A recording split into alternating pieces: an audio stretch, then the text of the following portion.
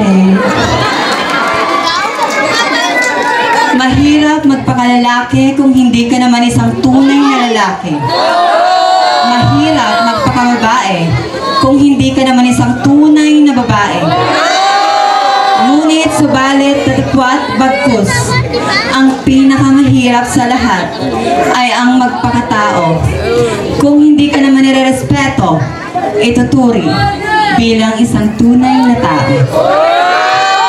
Distinguished guests, friends, allies of the rainbow community, honorable panel of judges, and people of barangay, good evening. The lady standing in front of you is a 25 years old tenor, all the way from Bonifacio, Global City, Taguig. My name is Clarissa Asuncion, but tonight, please do allow me to stand by the woman, ang babaeng winalang hiya, binalasubas, at hinayo ni Annabelle. Ang babaeng nagpatibok ngunit dumurog sa puso ni Mr. Richard Gutierrez. Am Binibining Sarah Geronimo. Joke lang po. Sarah Labati na nag-iiwan ng isang katagang. Aanhin mo naman ang pag-ibig na wagas kung wala ka namang pambili ng bigas. Good evening, happy Piazza, and enjoy the rest of the show. Thank you so much. Thank you so much, candidate number 8, Clarissa Asuncion.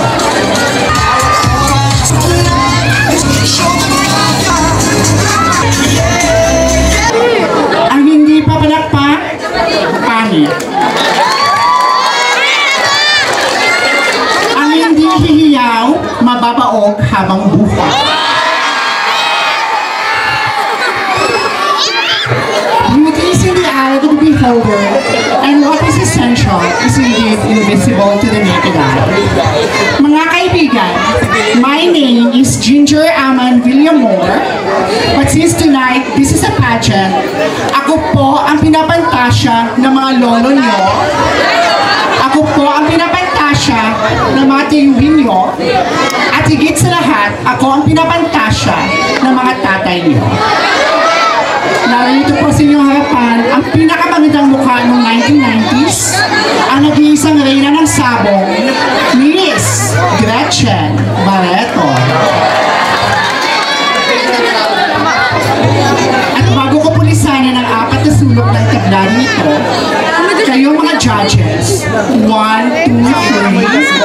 6. Pag hindi nyo pinanalo, mula pa ako sa Rojas Campus, malay nyo, huling hapunan ko na kayo.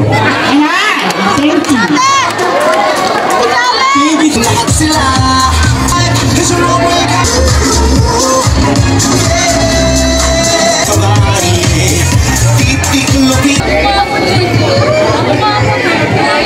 A man without ambition is just like a rolling stone without destination. Name is Denver Geronimo, truly all the way from the Binalayan Festival of the Philippines, Binawanan, Rizal. Yes. Thank you so much. Denver Geronimo na nag-iiwan ng kasabihan. Kung si Jose Rizal ay pugot ulo, lagay sa piso, kami namang mga bakla ay subo ulo, bigay piso. Joke lamang po yun. Thank you so much. Thank you so much, candidate number 10, Denver Geronimo.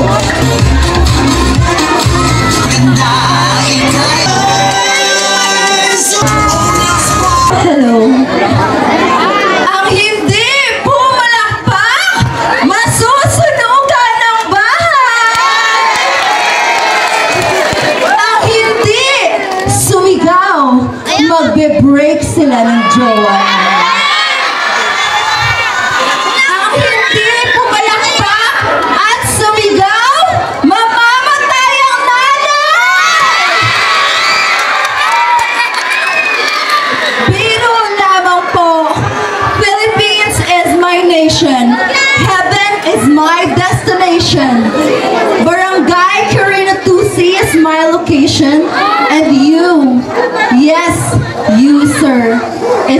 My inspiration. A glorious evening to each and everyone.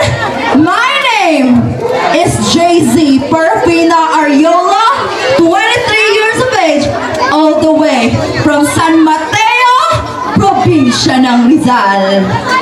But since this is a pageant, please do allow me to stand by the name. Ang babaeng minahal niyo po sa Batang Quiapo. At lalo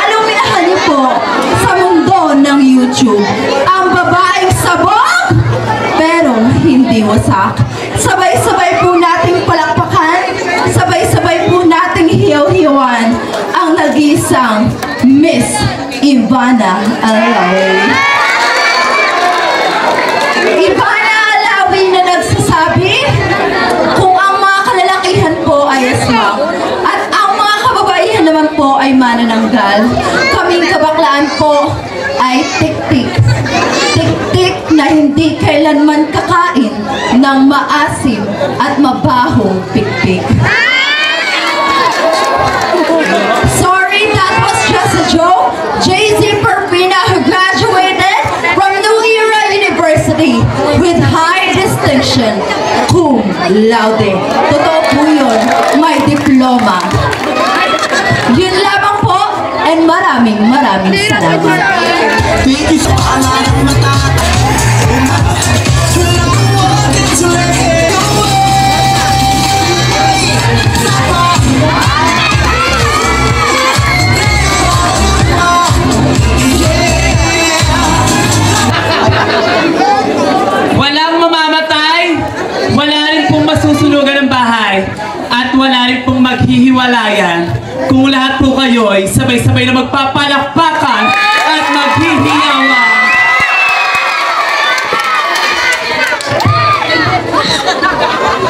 Candidate ka na organizer ka. Good evening. Ngayon pong gabi, ang pagsasama-sama, kagkakabuklod-buklod na iba't ibang uri ng ganda, talento, at talino. Hindi man ko biniyaan na malapor sila ng balat o manadyos ang kagandahan. Ngunit ngayong gabi naman ho, ako po ang magtatayo ng bandera naming mga tunay na gandang Pilipina. Isang mapagpalayang gabi ako sa ating lahat, or should I say, glamorous evening, beautiful people. A girl was naked with eyes, as a fresh, indeed innocent 23 suit stunner, featured all the way last, from the home of Kakanin Festival, and the aiming Viking capital of the Philippines, San Mateo, Probinsya Talawigan ng Rizal. This is Barbie Nicole.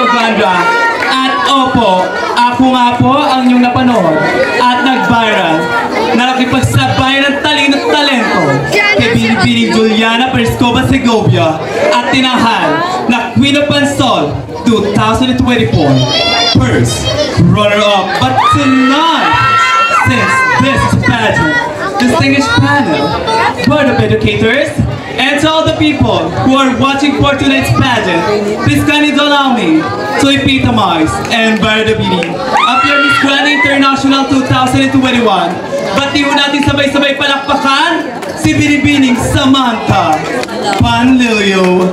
Samantha Panlilio na nagsasabing ang tunay na gandang Pilipina, hindi po negra, hindi po mestiza, kundi nasa inyong harapan, morena dalawa po.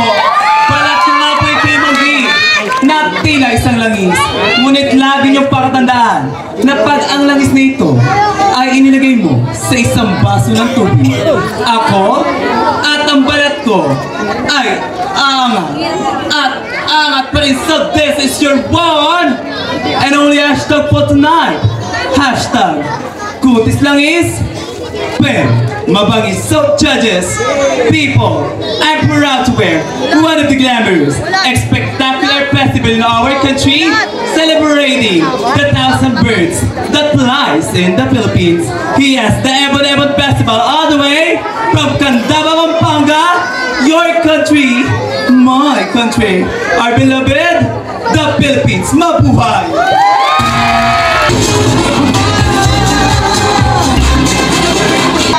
Vocals of the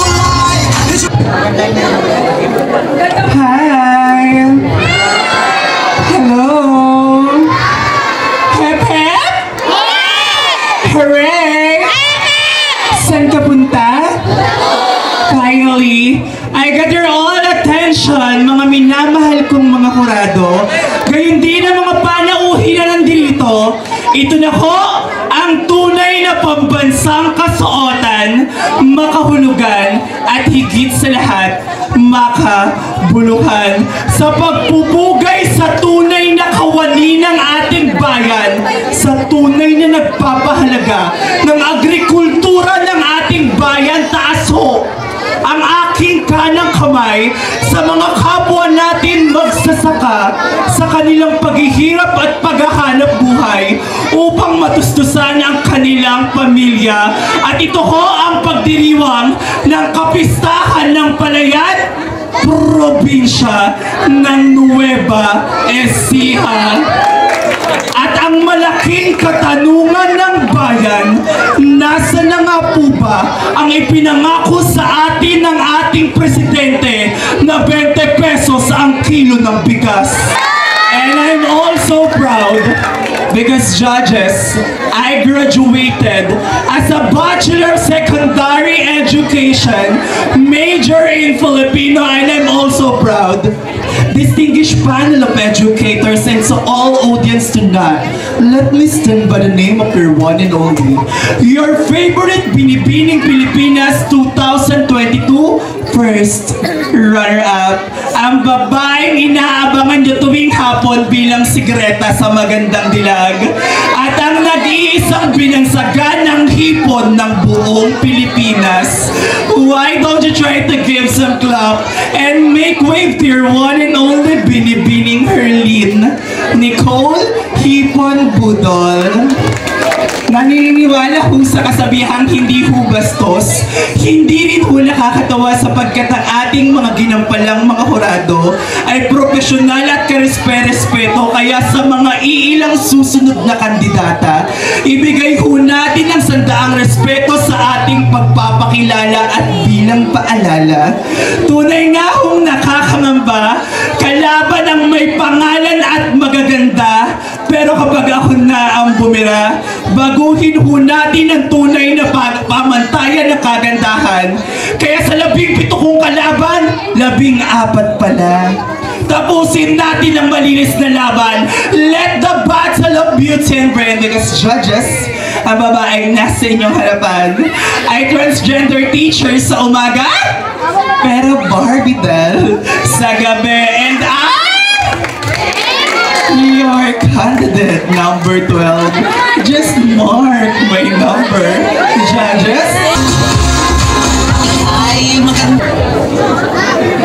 Nasa inyong harapan ang tunay na definisyon ng balat ng Pilipina. Maaari po ba humingi ng kaunting palakpakan dyan? Maraming salamat po. A flower never to a flower next to it, for it only blooms. And the flower that blooms in adversity is the most rare and precious flower of all. Good evening, friends, ladies and gentlemen in between. My name is Miss Cass Benito, a 25-year-old stunner who hails all the way from the City of Stars, Quezon City. I am a graduate of Business Administration major in Financial Management at the University of the East, and I am not a cum just a regular graduate.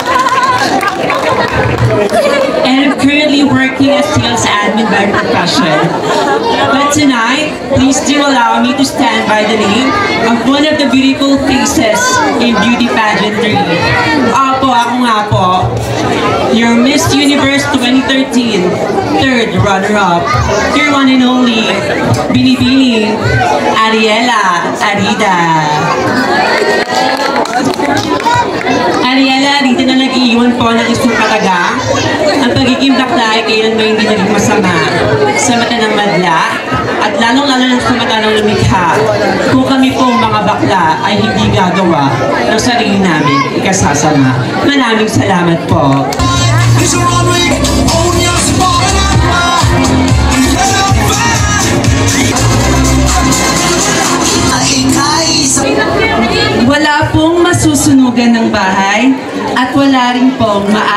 maaagawan ng jowa.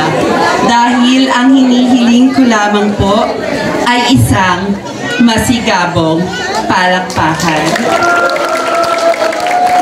Know what, ladies and gentlemen, I firmly believe that the physical attributes of a person as time will change, but the goodness of the heart will last for a lifetime. That's why one should be careful with your thoughts, because your thoughts may become your words. Your words may become your actions, and your actions may become your personality that will mold and defines one's destiny.